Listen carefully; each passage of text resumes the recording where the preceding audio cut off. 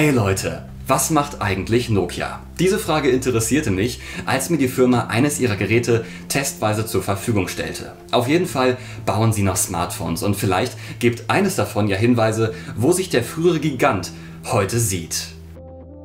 Das Nokia 7.2 ist ein eindeutiges Mittelklasse-Smartphone. Es kostet zum Zeitpunkt dieses Videos knapp 230 Euro mit 64 GB und 280 Euro mit 128 GB.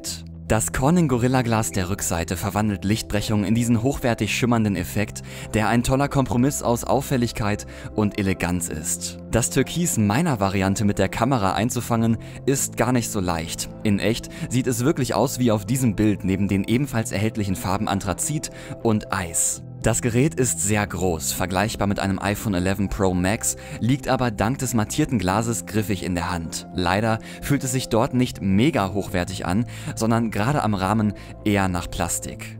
Das Gerät hat eine Gesichtsentsperrung, die funktioniert aber nur bei Tageslicht und sie hätten sie sich sparen können. Schneller, wenn auch nicht überragend schnell, ist da der Fingerabdrucksensor, mit dem man außerdem die Quick-Settings und Benachrichtigungen runterziehen kann, ohne das Display zu berühren. Nokia wird seinem funktionalen Ruf gerecht, indem ein Kopfhörerausgang verbaut wurde und im Gerät Platz für zwei Nano-SIM-Karten und eine Speichererweiterung um bis zu 512 GB ist. Leider sind weder der Lautsprecher noch der Vibrationsmotor besonders gut. Das sind genau die Details, bei denen man den günstigen Preis merkt. Auch auf Wasserdichtigkeit muss man verzichten. Ein sehr cooles Detail versteckt sich jedoch im Power-Button. Er ist gleichzeitig die Nachrichten-LED des Smartphones. Die Vorderseite mutet relativ modern an. Neben dem etwas dickeren Displayrand oben stört mich vor allem der Balken mit dem Nokia-Logo unten. Die Displayaussparung für die Kamera ist subtil, doch beim ersten Einschalten fiel mir auf, dass gerade bei hellen Flächen ein leichtes Bleeding zu erkennen ist. Ansonsten ist das 6,3 Zoll große Full HD Plus LCD-Display ein beispielhafter Vertreter seiner Art. Absolut klar, hell und farbenfroh. Die Blickwinkel sind in Ordnung, aber offenbaren natürlich den Schwarzwert als Nachteil gegenüber OLED-Displays. Doch eine Besonderheit bleibt, das Nokia 7.2 ist HDR-fähig.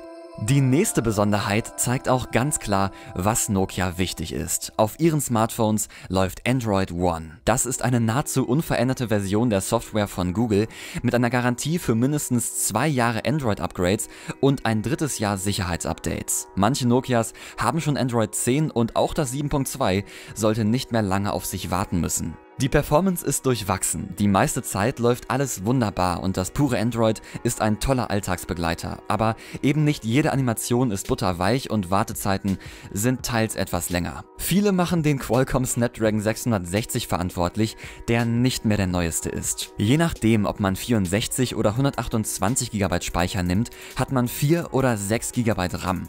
Den Einfluss davon konnte ich in Ermangelung der 6 GB Version leider nicht testen. Er wird aber nicht riesig riesig sein. Am meisten gestört hat mich, dass es in den Einstellungen keine Möglichkeit gab, die Android 9 Gestensteuerung auszuschalten und auf normale On-Screen-Buttons zu wechseln. Für Fans des Google Assistants gibt es eine extra Taste, alle anderen können die getrost deaktivieren. Ein Blick auf die Rückseite zeigt sofort, womit Nokia punkten möchte. Drei Linsen und ein Blitz verteilen sich um den Markennamen Zeiss, mit dem Nokia schon lange zusammenarbeitet. Es gibt ein normales Objektiv mit 48 Megapixeln, ein Ultraweitwinkelobjektiv mit 8 Megapixeln und einen Tiefensensor. Die Bilder des normalen Objektivs werden in Superpixel umgerechnet und sind am Ende 12 Megapixel groß, was mehr als genug ist. Sie sehen definitiv gut aus, sind scharf, stark gesättigt und neigen etwas zur Überbelichtung. Mit dem Ultraweitwinkel verliert man sichtlich an Detailreichtum, in gutem Licht macht aber alleine der Look diesen Qualitätsunterschied wieder wett. Der Tiefensensor kommt natürlich vor allem im Porträtmodus zum Einsatz, dessen Ergebnisse sich sehen lassen können. Hier wird der Hintergrund künstlich unscharf gemacht, um einen professionelleren Look zu erzeugen. Das heißt Bokeh und klappt natürlich nicht immer perfekt, aber gerade mit den netten Zeiss-Effekten für verschiedene Stile des Bokehs ist er gut durchdacht. Videos können mit 4K und 30 Bildern pro Sekunde aufgenommen werden, wobei die Stabilisierung nur bei Full HD so richtig klarkommt. Die Schärfe ist gut, sie sind gut gesättigt und die Dynamik könnte besser sein. Über den Akku musste ich mir zu keiner Zeit des Tages irgendwelche Gedanken machen. Ich denke, 6 Stunden Screen-On-Time sprechen für sich. Dabei lädt es mittelmäßig schnell mit 10 Watt und unterstützt leider kein Wireless Charging. Die Frage aus dem Intro lässt sich leicht beantworten. Nokia hat sich der Niedrigpreisstrategie verschrieben. Selbst der Preis ihres Flaggschiffs, dem neuen PureView, liegt aggressiv weit unter anderen Herstellern. Für wenig Geld einen alltäglichen Mehrwert bieten, ohne Spielereien und mit pragmatischem Minimalismus. Das Nokia 7.2 ist absolute Mittelklasse. Seine größten Stärken sind der unerschöpfliche Akku und das pure Android mit Update-Garantie. Die Kamera hat keine Chance gegen ein Pixel 3a, doch seitdem ich das Nokia schon für 230 Euro auf Amazon gesehen habe, ist dieser Vergleich auch nicht mehr ganz fair. Auch Display und Performance des Pixel wären besser, wobei das angenehme Display des Nokia heller ist. Im direkten Vergleich würde ich zum Pixel greifen oder auf ein Pixel 4a warten, aber in diesem Preissegment ist es eng und das Nokia 7.2 definitiv keine schlechte Wahl.